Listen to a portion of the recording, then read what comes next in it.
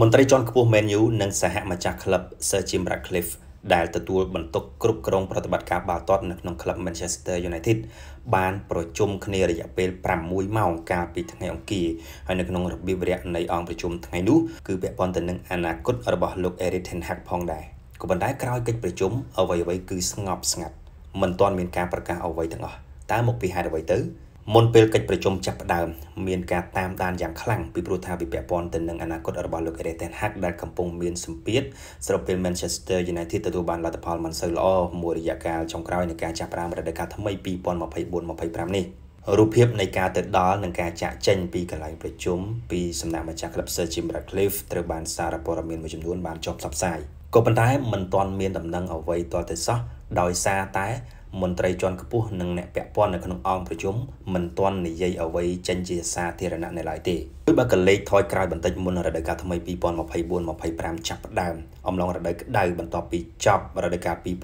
2023-24ពីសប្តាហ៍ក្រោយពេល Man U លើកពាន FA Cup តាមរយៈការផ្ដួល Manchester City ក្នុងវគ្គប្រាច់ព្រាត់ថ្នាក់ដឹកនាំក្លឹប Manchester United ដែលកណោះមិនទាន់មាននាយកប្រតិបត្តិ Omar Barada និងនាយកកីឡា Dan Ashworth នៅឡើយទេ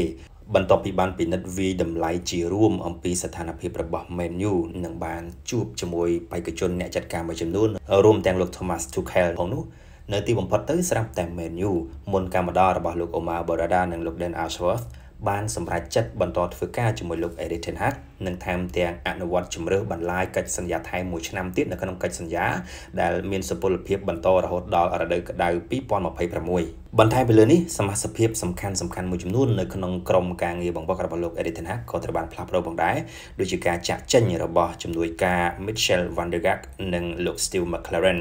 ហើយជំនួសមកវិញដោយលោក Ruud van Nistelrooy និងគ្រូមួយចំនួនទៀតបន្ថែមពីលើការផ្លាស់ប្ដូរនៅក្នុងក្រុមការងារបង្វឹកក៏មានការផ្លាស់ប្ដូរក្បាលម៉ាស៊ីនដឹកនាំប្រតិបត្តិការបាល់ទាត់ដែលមានលោក Dan Ashworth ជានាយកកីឡា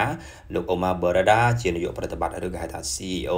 ដែលពួកគាត់ទាំងពីរបានមកដល់ក្នុងខែកក្កដាការនាំយកមន្ត្រីជាន់ខ្ពស់នេះមកកាន់តំណែងនៅក្នុងរចនាសម្ព័ន្ធនេះគឺជាអ្វីដែល Sir Jim Ratcliffe មើលឃើញថាជាចំណុចខ្វះខាតរបស់ Manchester United ជាច្រើនឆ្នាំចុងក្រោយនេះ ការបញ្ចប់រដូវកាល2023-24ក្នុងលេខរៀងទី8គឺជាចំណុចថ្នាក់អន់បំផុតរបស់ Man U ក្នុងប្រវត្តិសាស្ត្រ Premier League បន្ទាប់ពីមានការរុះរើមួយចំនួនគួរឲ្យកត់សម្គាល់ក្នុងរដូវក្តៅ2024មានសុទ្ធិដ្ឋិនិយមគួរសមដែរ ដែលគេរំពឹងថានឹងឃើញបំរែបំរួលគួរឲ្យកត់សម្គាល់នៅក្នុងក្រុមបិសាចក្រហមក្នុងរដូវកាលថ្មីក៏ប៉ុន្តែការចាប់ផ្ដើមនៅតែរដេបរដប់ហើយជាពិសេសក្រោយពេលចាញ់ Tottenham Hotspur 0-3ក្នុងទឹកដីខ្លួនឯងនៅ Old Trafford កាលពីថ្ងៃទី29ខែកញ្ញា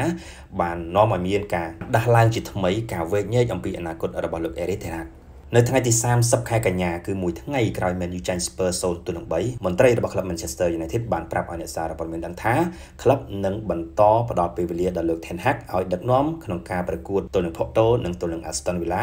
មុនការសម្រាក សម្រាប់ការប្រកួតក្រុមជម្រើសជាតិក្នុងខែតុលាប៉ុន្តែពេលនោះមិនមានការបញ្ជាក់ទេថាបន្ទាប់ពី Man U ប្រកួតទៅនឹង Porto និង Aston Villa ហើយឋានៈរបស់ Man U នឹងពិនិត្យវិតម្លៃសារឡើងវិញឬក៏យ៉ាងណាអ្វីអ្វីក៏ស្ងប់ស្ងាត់ទៅហើយកាលពីថ្ងៃសុក្រសប្តាហ៍មុននៅពេលអ្នកសារព័ត៌មាន BBC Sport សម្ភាស Sir Jim Ratcliffe ថាតើលោកនៅតែមានការជឿជាក់លើលោក Erik ten Hag ដែរឬទេ Sir Jim Ratcliffe បានឆ្លើយតបថាលោកសូមមិនឆ្លើយនឹងសំណួរនេះទេលោកចូលចិត្តលោក ten Hag លោក ten Hag ជាគ្រូបង្វឹកល្អម្នាក់ក៏ប៉ុន្តែលោកមិនមែនជាអ្នកសម្រេចអត្តនោម័តលើអនាគតរបស់អ្នកចាត់ការទេ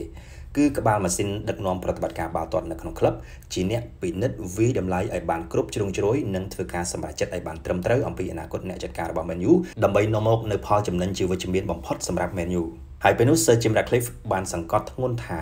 វត្ថុបំណងរបស់ Man U គឺនៅដដែលគឺច្បាស់លាស់ណាស់ថាគឺពួកយើងចង់នាំ Man U ត្រឡប់ទៅទីកំពូលឡើងវិញក៏ប៉ុន្តែពួកយើងមិនទាន់ទៅដល់ទីនោះនៅឡើយទេ តែច្បាស់ណាស់ពួកយើងចង់ត្រឡប់ទៅទីនោះឡើងវិញការរកបានត្រឹមតែ8ពិន្ទុពី7ប្រកួតដំបូងគឺជាការរកបានពិន្ទុតិចបំផុតក្នុងប្រវត្តិសាស្ត្រ Man U នៅក្នុងលីកកំពូលអង់គ្លេសតាំងពីយុទ្ធនាការ1989-1590មកសម្រាប់លោក Ten Hag លោកបាននិយាយថាមកទល់ពេលនេះថ្នាក់ដឹកនាំក្លឹប Man U មិនទាន់និយាយអ្វីជាមួយលោកទេ